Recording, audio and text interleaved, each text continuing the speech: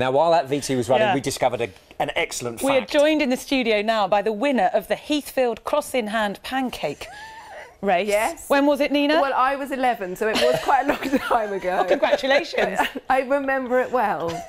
And obviously, I still like to It's a talk great about title. it. Yes, exactly. done. One of my great sporting achievements. Now, as far as the weather's concerned, it has been going downhill. We've got some rain out there at the moment. That will steadily turn heavier. But if we move things back to this morning, hardly a cloud in the sky. It was a glorious start to the day.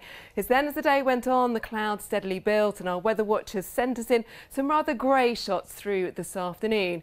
If we look at things from the sky, you can see how that really started to develop. Cloudless through the morning, but as these weather fronts moved up from the southwest, the cloud built, the rain is starting to arrive. It's fairly patchy at the moment. You'll notice there is more to come. It will turn heavier during the night, accompanied by some strong So a bit of a slow start to the day tomorrow, but that first batch of rain will clear away and then into the afternoon we'll need to watch out for some heavy showers developing.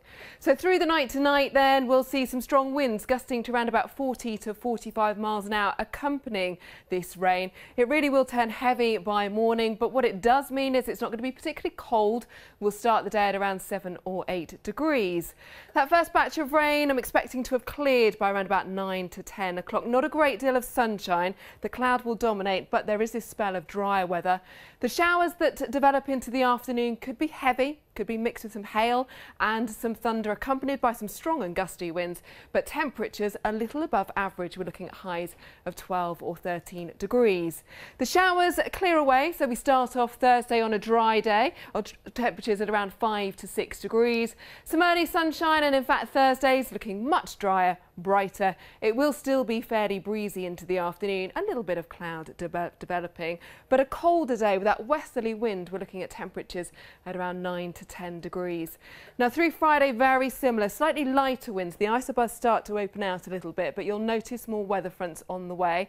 The timing of this system is to take it through overnight Friday and into Saturday. So then we're left with a fairly cool northwesterly breeze, potentially bringing in some showers. And there is a bit of uncertainty in Sunday's forecast at the moment, potentially another low pressure system bringing some wet and windy weather. But that's worth keeping an eye on over the next couple of days. But as we go through tonight, we'll see that heavy rain and strong winds, some showers through the afternoon tomorrow, drier for a couple of days, but it will steadily be turning a little cooler.